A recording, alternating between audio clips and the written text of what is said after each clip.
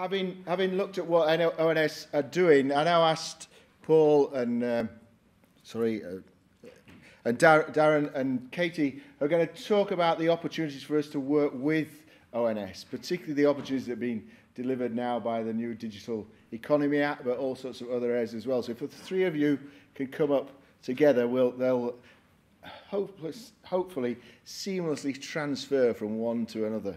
And uh, I'll set, the, set them the challenge to do that. Brilliant. Thank you. The clicker is there.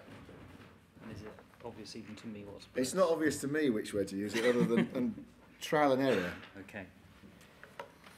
So I haven't got very many pretty pictures at all, I'm afraid, compared to what you've just seen uh, so far today. Uh, my brief was to talk about the Digital Economy Act, and that doesn't lend itself to very many pretty pictures. Um, but it's critical to uh, the organisation I'm seconded to at the moment from the UK Statistics Authority, which is the Administrative Data Research Network, which is a consortium of universities, uh, Edinburgh, Belfast, Swansea, Southampton, UCL, uh, with a uh, important coordination role inside uh, Essex University uh, near Colchester.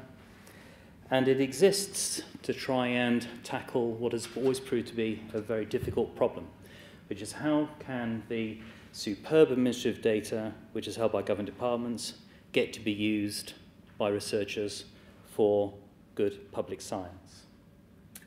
And the Digital Economy Act is fundamental to solving some of the problems which have always been um, there when trying to release the power of data, administrative data, for better research. So I'm going to, I'm afraid, prevent, present some fairly dry slides, but it is actually a more exciting topic than I've managed to present it. That's why you didn't go straight after lunch. That's it, yes. yes, yes. Very wise decision from somebody. I can't even make the clicker work. There we go. So the first thing to say about the Digital Economy Act is it is very simple. It is beautifully simple. If you go and read it, it isn't simple. But actually, that's just the, the, the way le legislation gets drafted. It is actually a very, very simple uh, piece of legislation and a very simple concept that lies behind it. First of all, personal information held by public authorities can be used for research. Now, there should be an asterisk after personal information because there are some conditions which apply. So before the researchers get to use these personal information, these personal data, they do have to be de-identified. But the principle is that if there is personal information which is held by a public authority, it can be used for research. Second key feature of this legislation, public authorities can be assisted by others to get the data ready and to provide the prepared data to the researchers. The weight doesn't fall only on government departments' shoulders, the weight can be shared, hence the value of an infrastructure like the Administrative Data Research Network. Third key feature, existing legal barriers to research are voided.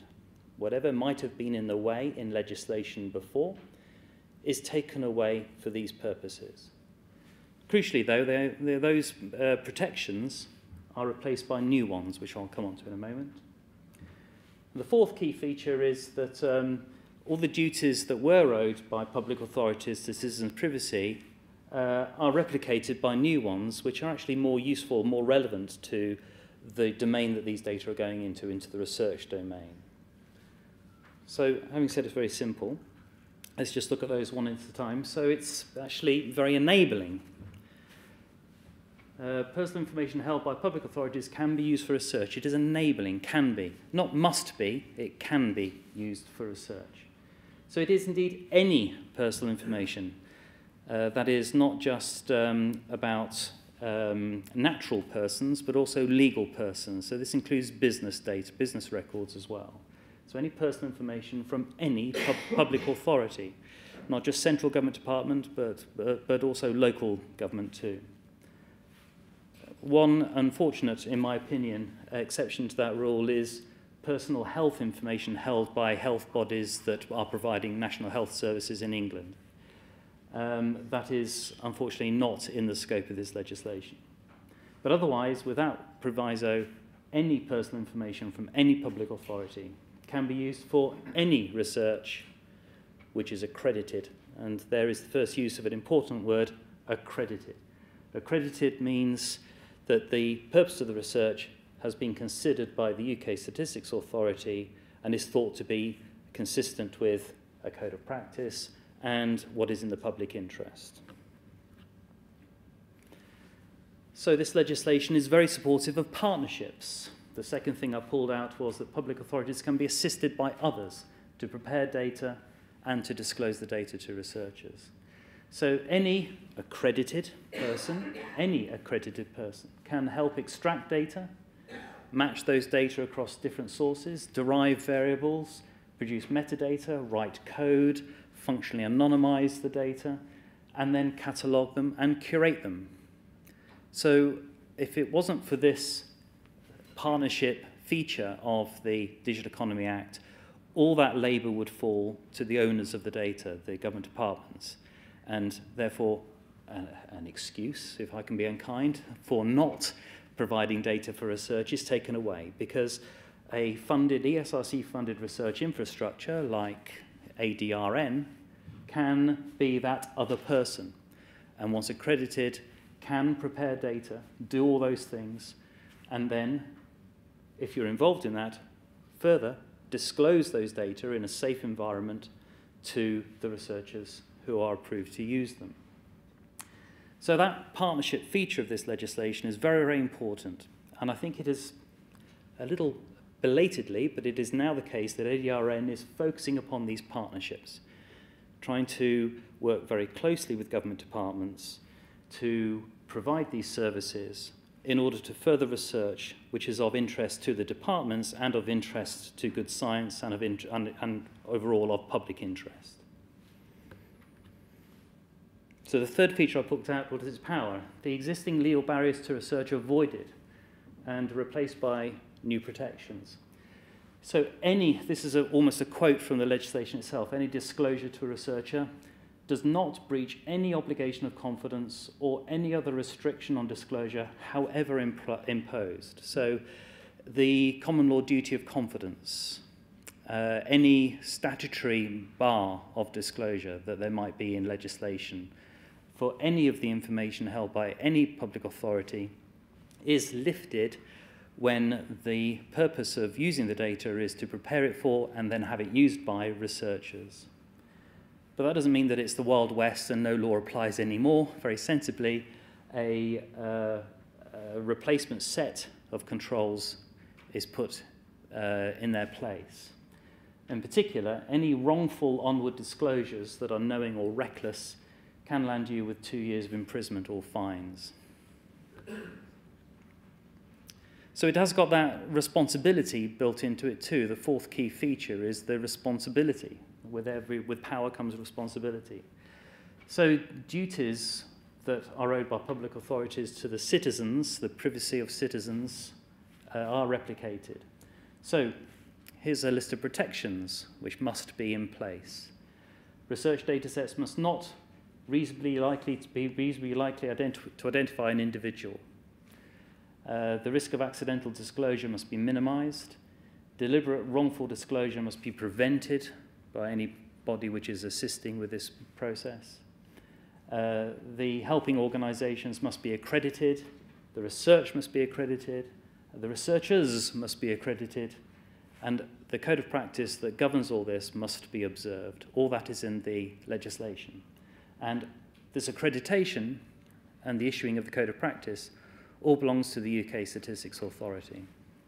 The Code of Practice is out for consultation just now, so uh, please do take a look. So what does this all mean for, uh, in particular, the Administrative Data Research Network and for, for others? Um, it's enabling supportive partnership, powerful and responsible, and I think that's what ADRN should be too, to mirror what the legislation is all for.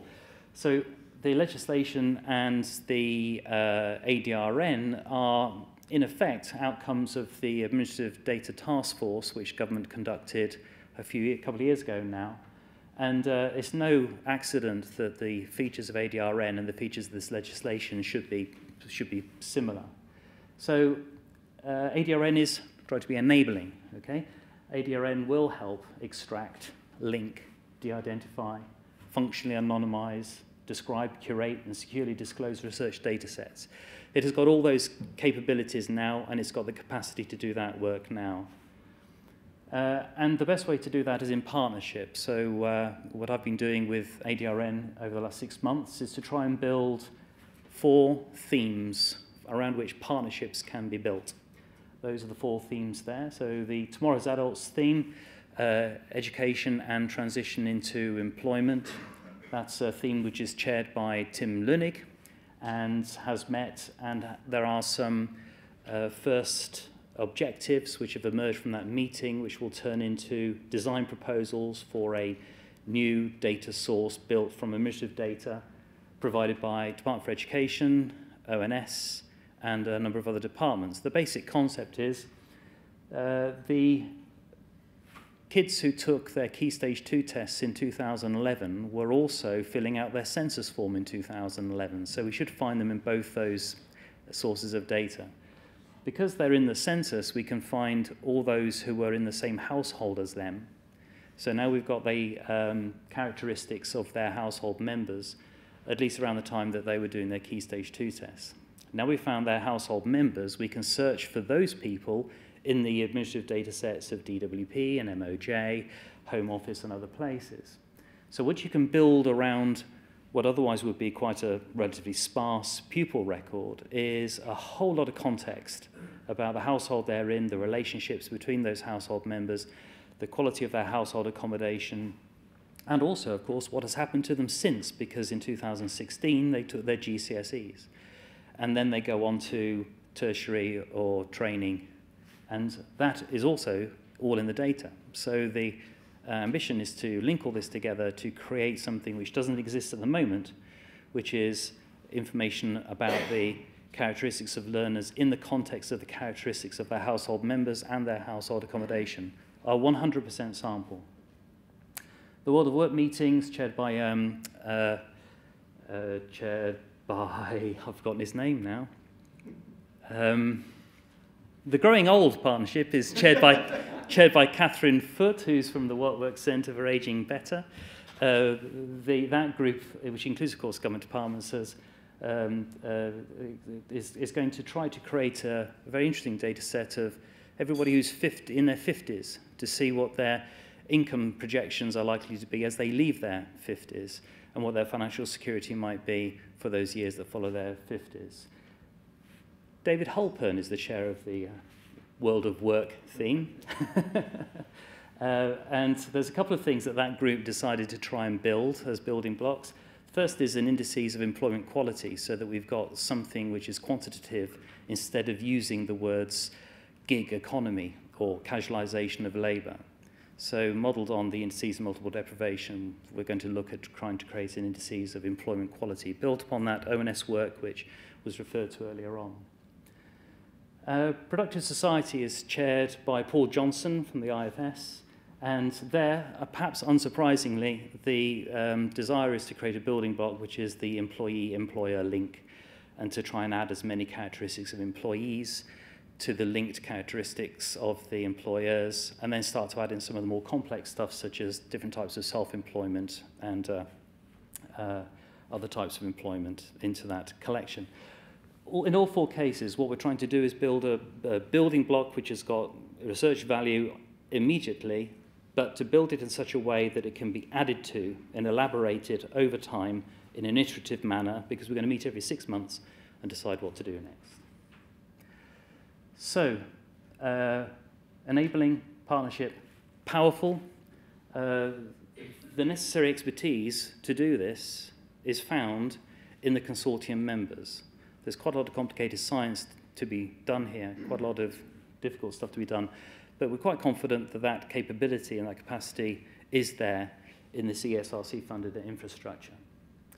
Um, and the last one, responsibility. ADRN has built itself in order to be readily accreditable as soon as that becomes possible, which we hope is going to be early in the new year. so that all those accreditations of the body that can assist government departments and the safe place to put data and the uh, accreditable projects, accredited researchers and so forth. All that is ready to go as soon as the accreditation standards and, all, and the code of practice are published and the operation is in place. We are building ADRN to try and be shovel ready for when that moment comes. So no pictures, I'm sorry about that, but um, I did hopefully expand all the acronyms. I think I did remember to expand all the acronyms, which is the first rule, isn't it? And I did only have a quarter of an hour, so I can hand over. it may be dull, but it's extremely exciting.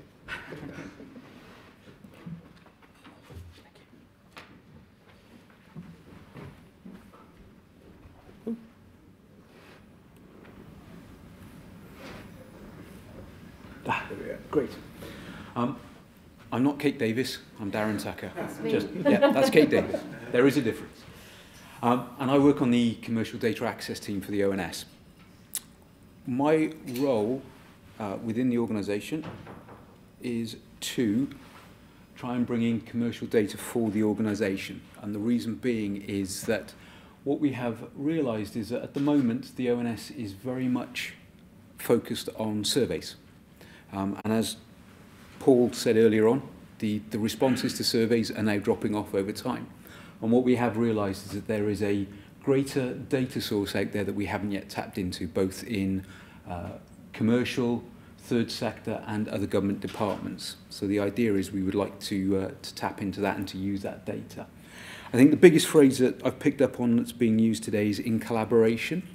And what we want to be able to do is even though we now have the Digital Economy Act, which allows us to access both data for statistics and research. What we actually want to do is to go out and work collaboratively and in partnership with any organisations that we would like to, to access data from. So what we would rather do is to find out what value we can get from your data, but also what we can give back as an organisation. So whether it be um, insights into the data, and hopefully Kate will go into that a little bit more, whether it is um, the ability for secondments of staff um, to actually sit within our organisation or to put staff into your organisations and sort of use your data but use our knowledge as well. Um, at, the, at the moment, uh, what we have got a great experience in doing is getting data from other government departments. What we are still learning is how to get this from commercial organisations. Part of the, the role of my team is to try and get that commercial data in a lot faster. Um, unfortunately, it does or it can take quite a bit of time sometimes to get data through the door. And what we would actually like to be able to do is to bring it in once, but use it many times within the organisation. So the idea being is that we, we identify by talking to organisations what data is available. Um, we then bring it in-house for a specific purpose normally for, for one of our inquiries. But then once it's within the ONS, other people can look at it for research and or statistical purposes. They have to put forward a business case though. They can't just turn around and say, I think my name might be in that data, can I have a quick look at it? There has to be a specific reason behind it. Um, so that's sort of the, the trajectory that we try and go through. First, it's, it's understand what we want. Secondly, it's confirm what's out there. Um, because the thing we're finding is we don't know a lot of the data that is held by commercial organisations. We think we do, but in conversations with them, what we're actually finding out is either they've got a lot more than we thought or a lot less than we thought. Um, and then we start talking about can we have access to that? Um, and then that's then when we move into that. So the negotiation and the supply phase are the areas that take most of the time for us at the moment. So it's sitting down with organisations saying, what data do you have? What are you willing to share with us? At what levels? At how often? This kind of thing. Um, and then actually getting it through the door so it's both comes through to us securely and we're then holding it securely.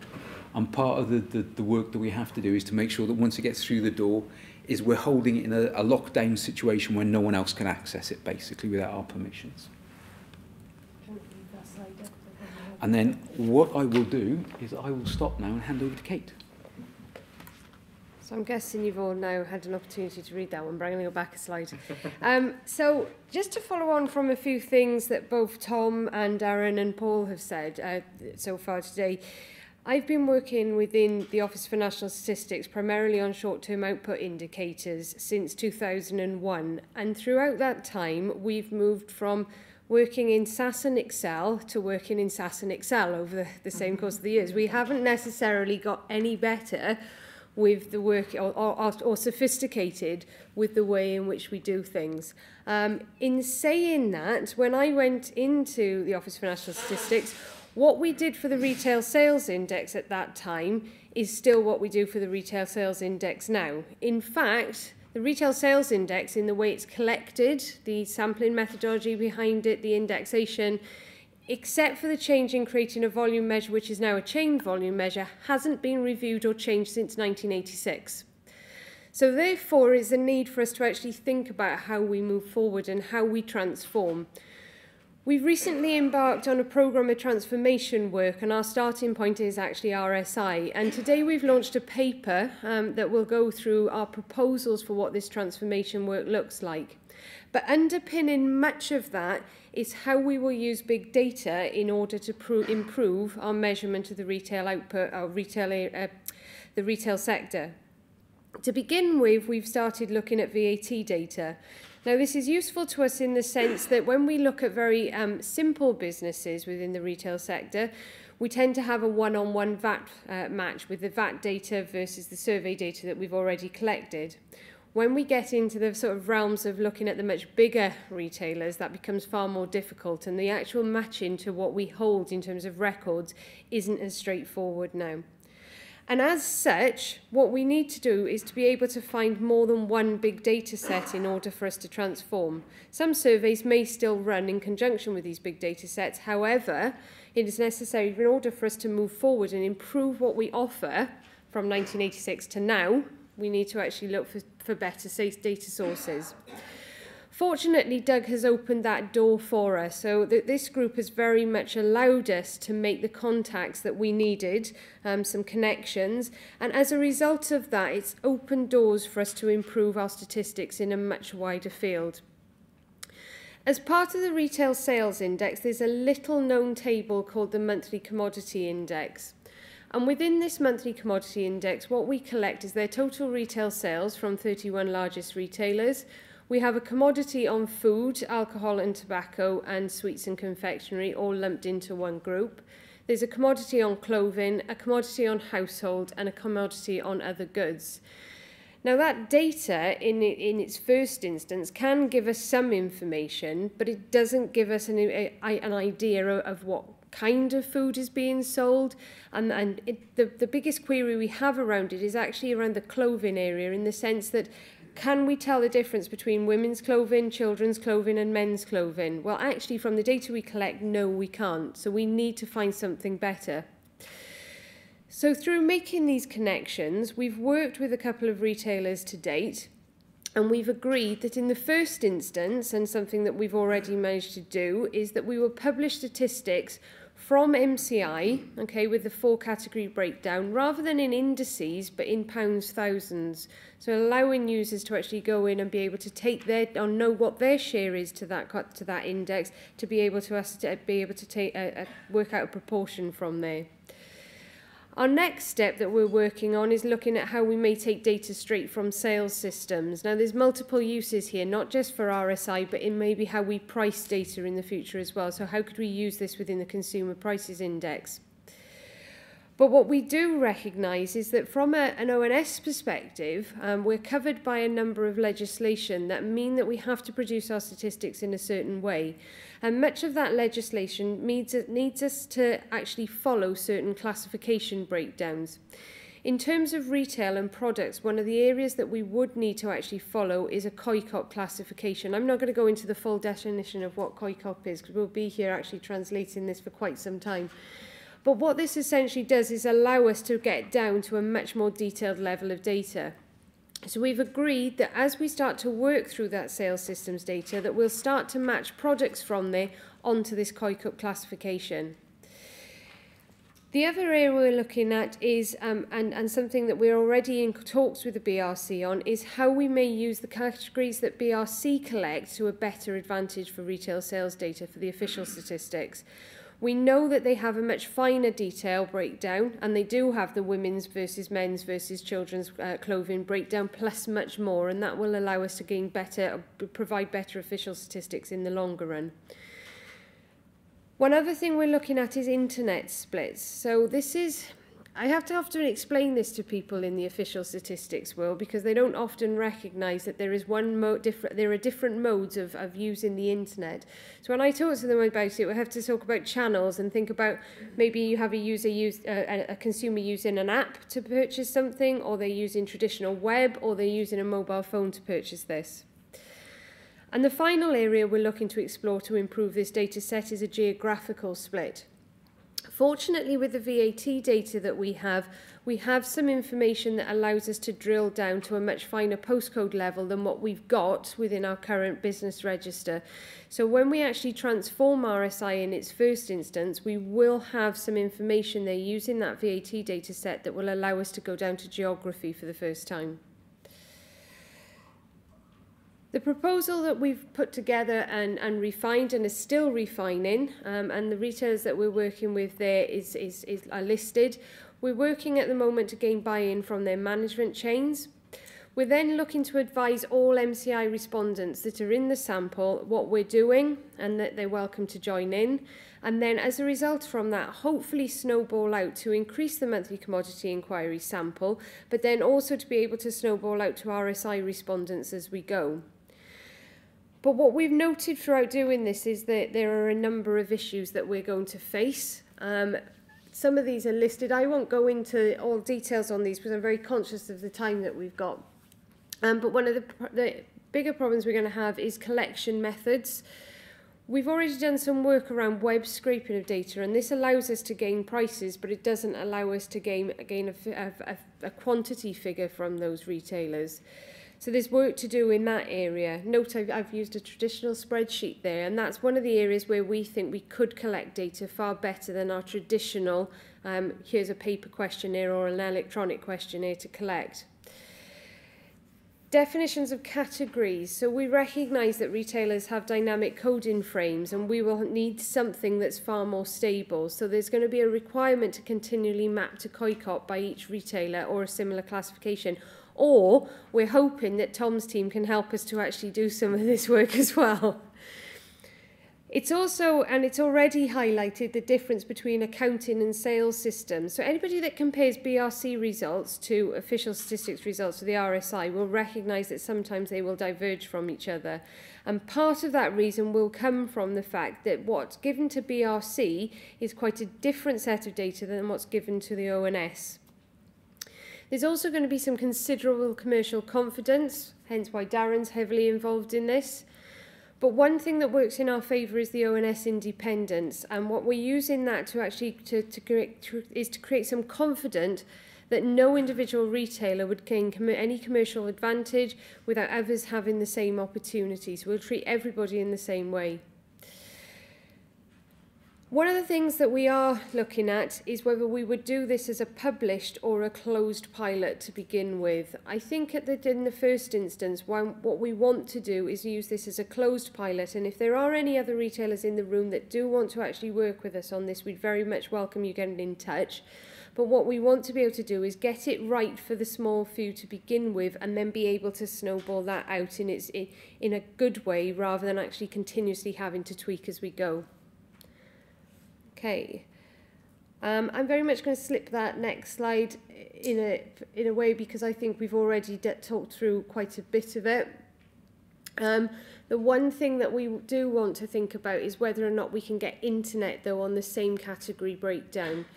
I will say as well that the MCI pounds thousands data is now available. It was implemented in August 2017 and is found within the main retail sales release.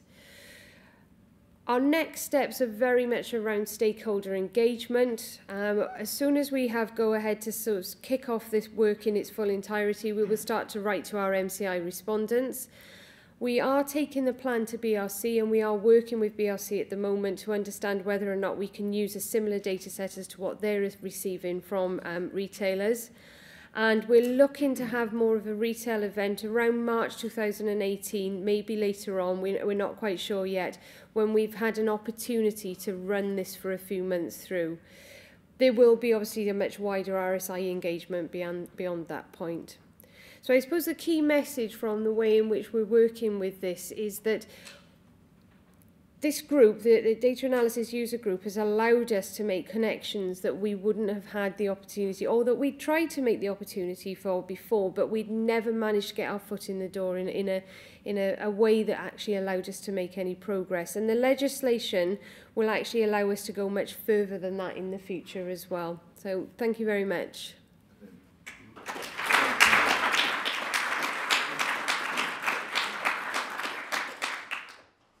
So it is time for coffee, but I, I want to make two points. First is, Tom has the easy bit, and I, I like doing that bit because prototyping always is fun. But we all know in the data world to go from prototyping into something that's production, there's a shed load of really difficult work that loads of people just ignore. And people who do prototyping can oversell in a sense. So those legal things, whilst generating dull slides, are really essential to making long-term change. So thank, thank you very much for that. The, the other thing is, I'd go for coffee. Don't take too long because we, we want to go through three examples of actual data analysis that's happening now. But also drop your business cards in so you can keep in touch with the uh, CDRC and get the chance of winning this book. It's it's the one a mapped book of all sorts of bits of London. It's a fantastic book. I had ever looked at myself, but uh, I'll I'll leave it for anybody else who's it's James Cheshire who wrote it and it, it got lots of publicity. If you want a copy of the book, put your slide in and I think they'll only send you a new sheet once every 6 months or so. But I had to say that just so they were properly consented. Have your coffee and I'll see you in about, about half past three. Thanks very much. Cheers.